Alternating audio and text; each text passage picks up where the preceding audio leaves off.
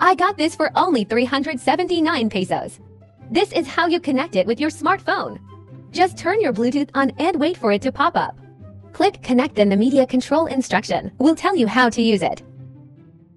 It will also show you the battery percentage for the earphone and its casing charger. This is what you'll get for only 379 pesos. Two pieces Bluetooth earphones.